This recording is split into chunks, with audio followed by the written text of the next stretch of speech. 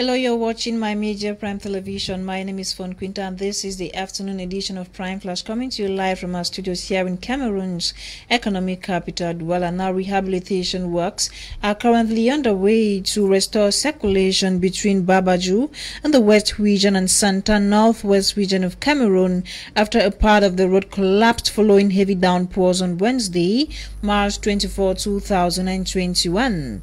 Road users have been using alternative means to get to their destination after heavy downpours left the road practically impassable.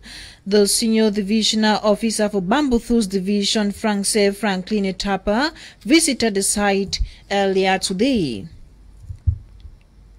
In a similar story, passengers and other road users traveling in and out of the northwest region remained stranded following the collapse of a part of the stretch of road linking Bamenda to the west region. The road cut off after the checkpoint in Santa. Passengers are now forced to take, trek long distances through rough terrain to get to their destination. Still under effect of yesterday's downpour now in Yabassi, in the nation's economic capital, the road has been divided into two around Pika Transit. Many road users have been left stranded while others had to turn back as crossing to the other side is still impossible.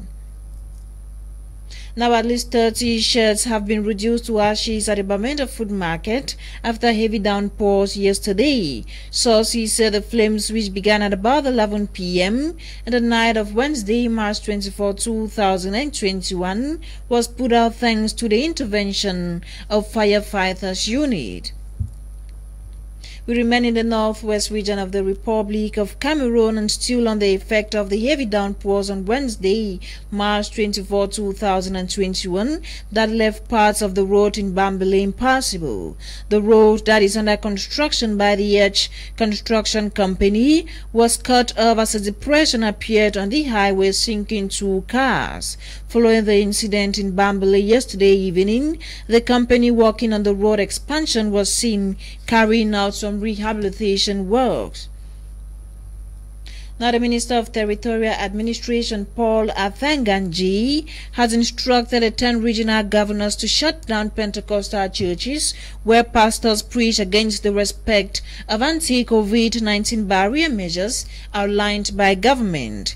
In a correspondence addressed to his collaborators Wednesday, March 24, Minadbo says it has come to his notice some pastors, mostly from revival churches with no legal existence, preach against instructions given by the head of state to curb the spread of COVID-19.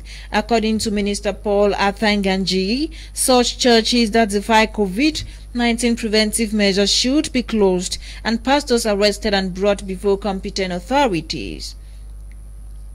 And to this sad news, death has been announced of Honorable Prince Mikadi Anjoubert, the youngest member of Cameroon in Cameroon's lower house. Sources say the member of parliament for Boumba and Ngoko constituency in the East region died Wednesday, March 24, 2021 at the Gyneco-Obstetric General Hospital in Ngousso after a brief illness. Honorable Mikadi was member of the Committee for Economic Affairs Programming and Regional Planning. Out of the country, at least three civilians have been killed and five others wounded after a barrage targeted a barrage of mortars targeted the headquarters of the United Nations and African Union peacekeeping mission forces located in the Somali capital of Mogadishu. Local media report that several mortar shells landed in a residential area near Adant Adedil International Airport in the capital city. The attack targeted the United Nations compound, which houses several Western diplomatic missions, including those of the United Kingdom and the United States of America. This is the second time the UN compound has been targeted in less than a week following the March 19 attack with no reported casualties.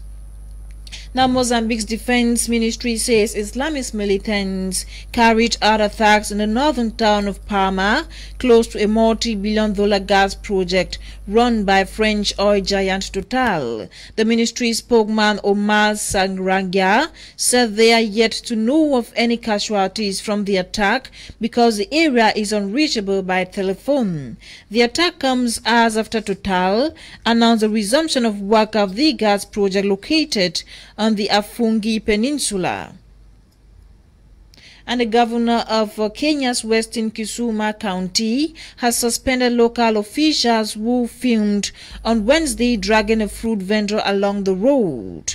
Local media report that the woman had refused to give a bribe as she was selling oranges and lemons on a pavement in the city where hawking is prohibited. According to the lady, one of the officials one of the officials at the back of the pickup truck held her hand and refused to let her go as the vehicle sped off. Following the incident, Governor Anyang Nyong'o was suspended from duty all officials involved until investigations are conducted. That ends the 3.30 p.m. edition of Prime Flash on My Media Prime Television. The news was compiled and produced by Ewan Nolinga Ella. Developments of these stories and more will be yours at exactly 6.30 p.m. with Genda Pelton Blanche. My name is Fon Quinta. We'll meet again tomorrow at exactly 10.30 a.m. on what's making news in and out of the country. Until then, goodbye.